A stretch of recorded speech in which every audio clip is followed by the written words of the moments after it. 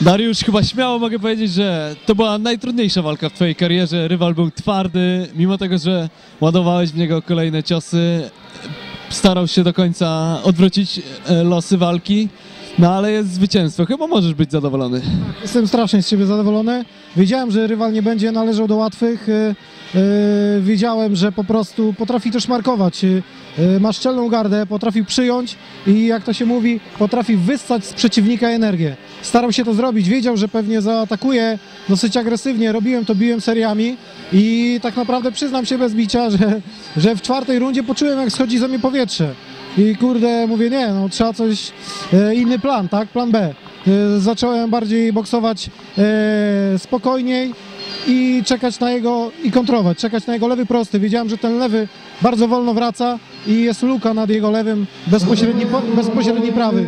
I tak naprawdę chyba to był, e, to było trafione, bo wchodził lewy prosty, bezpośredni prawy i wtedy mogłem fajnie schodzić i bić po dołach i gdzieś tam zaczęło się to kumulować już od piątej szósta runda, także no, cieszę się niezmiernie, że, że może nie skończyłem to w pierwszej czy w drugiej rundzie, bo doświadczenie e, w dłuższym dystansie bardzo mi się przyda, bo wszystkie wcześniejsze walki kończyłem e, do czwartej rundy, tak? E, I lepiej te doświadczenie złapać z takim przeciwnikiem na takim etapie niż później o poważny tytuł i boksować gdzieś 12 rund. Ja nie wiedziałem, jak się moje ciało zachowa e, w 8 rundach, a, a widziałem, że w czwartej rundzie zaczęło schodzić mnie powietrze, ale jest okej, cieszę się bardzo.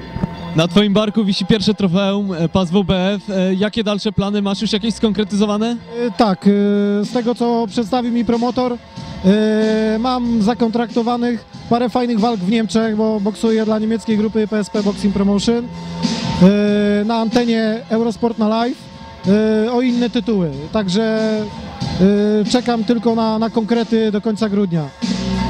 Będziesz trzymał się tych e, już ósemek, czy jest, czujesz się gotowy kondycyjnie na ósemki i te dłuższe dystanse? Yy, tak, tak.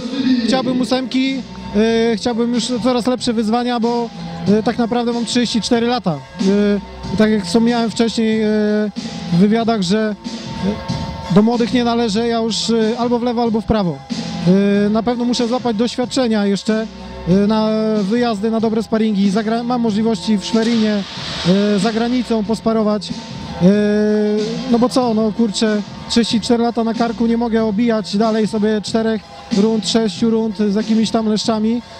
Tak naprawdę bawię się tym boksem, chcę zobaczyć jak daleko zajdę. Ja, no kurczę, może nie powiem, że nigdy nie będę mistrzem, bo nigdy nie, nie można mówić nigdy, ale, ale chcę zobaczyć jak daleko zajdę. Ewentualne walki z Polakami, które teraz są bardzo popularne, wchodzą w grę, czy, czy nie- będziesz starał się iść tą swoją drogą? Nie, nie, będę starał się swoją drogą iść. y, Po prostu zobaczymy, co, co, co, co promotor, y, jakie, jakie będą plany na przyszłość. Y, Fajnie w, Nie w Niemczech, kurczę, no jakby to powiedzieć, y, na, można być gwiazdą u nas tu w Polsce. Okej, ale jak nie będziemy boksować, każdy jeden zawodnik z tych nawet na, u nas bardzo znanych, których cenię chłopaków, bo mega chłopacy, naprawdę talenci, tylko szkoda, że są blokowani i walczą tylko u nas w Polsce.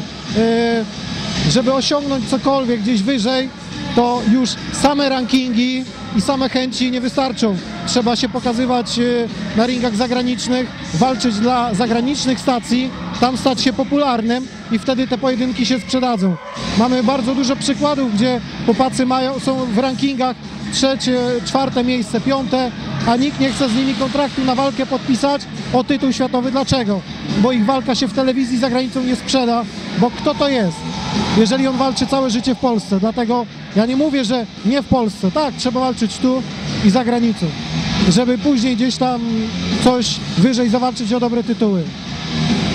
Zwycięstwo efektowne przed czasem, po dobrej walce, chyba daje kolejną dawkę motywacji, daje ol- olbrzymią satysfakcję.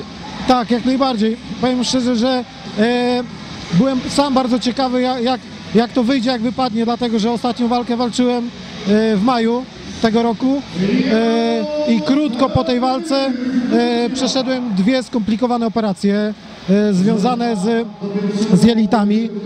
Schudłem 12 kg.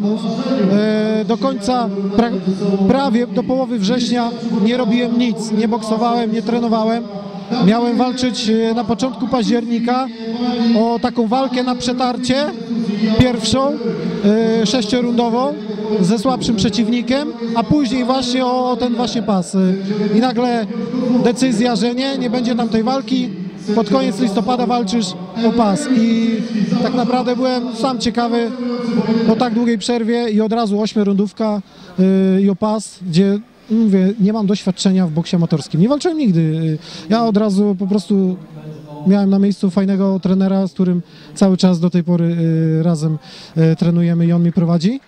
Yy, Zacząć boksować, no i tak jakoś, kurczę, widać, że no z jakimś fajnym, dobrym skutkiem. Także super. Gratulujemy sukcesu i czekamy na kolejne walki. Dziękuję bardzo.